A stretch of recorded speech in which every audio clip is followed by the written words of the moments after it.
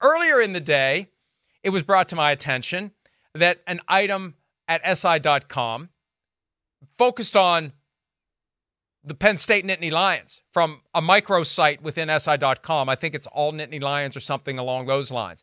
Had quotes from James Franklin, the head coach at Penn State, about the recruitment of Saquon Barkley by the Philadelphia Eagles. And the whole point was that when the Eagles recruited, recruited Saquon Barkley, they tapped into his Penn State history and tied it together to try to get the deal done. And the way that Franklin explained it, oh, we actually have it. We actually have, I didn't realize we had it. Here it is. Don't listen to me as if you ever do.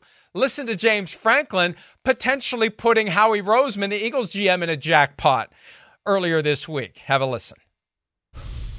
For him now to come back and be able to play within the state, um, you know, in Philadelphia, you know, he said that was one of the first things that Howie said to him on the phone as part of kind of his sales pitch to him uh, was not only the Philadelphia Eagles and, and that, but obviously the connection with Penn State and the fan bases as well. So, uh, thanks, James. Thanks a lot, James. Thanks for getting us in trouble with the league, James. The, the Eagles have denied any improper contact, and they insist that all recruitment during the negotiating window happens only between the team and the agent representing the player. But that sure as hell ain't what James Franklin said, Chris. No, it's definitely not. Now it's, it's different. It's it's secondhand, right? So where it could be this is where there's it's not it's not necessarily the same as Kirk Cousins who's you know the guy and speaking about his experiences you know basically illegal tampering right this is a little of like secondhand communication so, you know, I guess that like takes a little bit of the harshness away. You know, and also I, you know, listen, we know how those conversations could go sometimes where it could have been like, and maybe it was Saquon's agent that talked to Howie and that was part of the sales pitch. And he just told John, you know, Coach Franklin, like, hey, yeah, Howie, you know, part of his sales pitch is, you know, the Penn State thing and all that. And maybe he didn't. So I, again, I don't know. But like uh, as far as you know, compared to what happened with Atlanta and Kirk Cousins or other ones we've seen, I mean, come on, this is the least egregious thing in the world. I almost like with star players, players that you know move the needle, difference making type players that become free agents, right? And let's just say there's a hundred of them, right? I, I would almost bet 90 out of 100 get a call from somebody on the team to kind of just introductory, let's talk to you and meet you, or, or talk to you and get a feel for you, you know, illegally, right?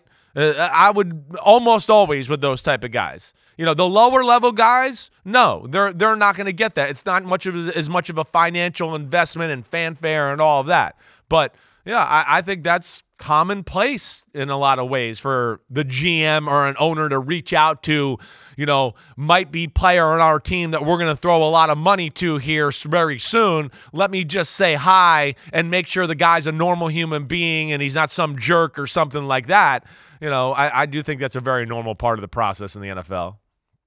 I know it's normal, but it's abnormal as relates to the rules. I got two things to say, and then we yeah. have to take a break because we almost put a full hour into this segment. One, from the NFL's perspective, look at what they did. They create this fiction, this legal tampering period, at a time when tampering is rampant. Everyone looks bad. It all looks goofy. You have the clock strike 12. It used to be midnight on a Friday when the league year began, and by 12:30 you'd have these multi-million dollar deals already negotiated when they weren't allowed to have any communication of any kind whatsoever to express any interest in the player until 25 minutes earlier. It was a joke. So the NFL sets up this separate system that allows it to happen but says this is the way it's got to be. You can't talk to the player, you can only talk to the agent. So I could see why the NFL would be pissed if people are taking liberties within this 52 hour window that was set up specifically to give everyone cover for a rules violation that made everyone look bad, that makes the entire organization look corrupt. That's point one. Point two with the Kirk Cousins thing, I was already interested in what he was going to say at his press conference because we'd been looking at it and saying, well, how do they know that his Achilles is fine? How did they get medical information? How did, you know, something about this felt like it was wrong, felt like it was too much, felt like there might be tampering. So I was looking and listening to what Kirk had to say when he said, here's the smoking gun last night. The Eagles thing, I had someone raise that with me. I had someone else in the broader league apparatus say, have a look at this. And when that goes on, Chris, it makes me wonder in this heated rivalry between the Giants and the Eagles, how much more likely are the Giants to make a stink about this than the Vikings are to make a stink about what the Falcons did? I think it's a much bigger deal from the standpoint of what is Tommy going to do when Spider tells him to go F himself?